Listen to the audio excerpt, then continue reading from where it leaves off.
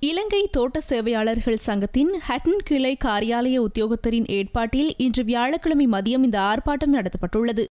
Fordyce பெருந்தோட்டத்தில் கடந்த நான்காம் திகதி கள உத்தியோகத்தருக்கும் நபர் ஒருவருக்கும் இடையில் ஏற்பட்ட வாய்த்தர்க்கம் பின்பு கைகலப்பாக மாறியதில் தாக்குதல் சம்பவமாக பதிவாகியுள்ளது.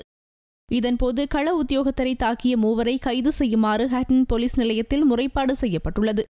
முறைப்பாடு தொடர்பில் எந்தவொரு நடவடிக்கையும் எடுக்கப்படாததை அடுத்து இந்த ஆர்ப்பாட்டம் நடத்தப்பட்டுள்ளது.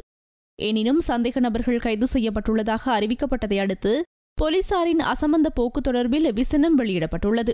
இதேவேளை சந்தேக நபர்கள் கைது செய்யப்பட்டு நீதிமன்றில் முன்னிலைப்படுத்தப்பட்டதாக ஹட்டன் போலீசார் குறிப்பிட்டுள்ளனர். போலீசின் ஆதரவினால் தான் அந்த குற்றவாளிகள் கைது செய்யப்படவில்லை.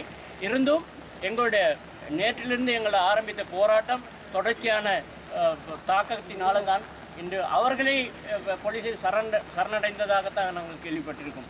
ஆனால் போலீஸ் அதாவது அட்டன் போலீஸுக்கு நாங்கள் கொடுக்குற ஒரு தகவல் என்னன்னா எதிர்காலத்தில் சரி உங்களுடைய பிள்ளைகளை திரு- திருத்தி கொண்டு நீங்கள் நியாயத்தை செய்கிறத மாதிரி கேட்டுக்கொள்கிறோம் ரெண்டாவது அரசியல் தலையீட்டுக்கு நீங்கள் பணிஞ்சு செய்கிறதுன்னு இந்த நாட்டில் ஒரு நியாயம் இல்லைன்னு தான் நான் சொல்கிறேன் அதாவது சாதாரண ஒரு உத்தியோகத்தர்களுக்கு ஒரு பாதுகாப்பு இல்லைங்கிறத சொல்லி இந்த சந்தர்ப்பத்தில் சொல்லி அதாவது இலங்கை தோட்ட சேவையாளர் சங்கம் ஒரு மாபெரும் தொழிற்சங்கம் அதாவது இன்று இந்த ப- உங்களோட பிரதித்தலைவர் கூறியது போல் இன்று ஒரு முடிவு இல்லாமல் இருந்தால் நாளைக்கு கல்விவெளி இணைய தோட்டங்களை நாங்கள் ஒன்று சேர்த்து ஒரு பெரிய போராட்டத்தை அது மாத்திரமல்ல அகில இலங்கை ரீதியில் ஒரு போராட்டத்தையும் நாங்கள் செய்ய தயார்படுத்தும் நிலையில் இந்த போராட்டம் எப்படியாவது ஒரு முடிவுக்கு வந்துள்ளது.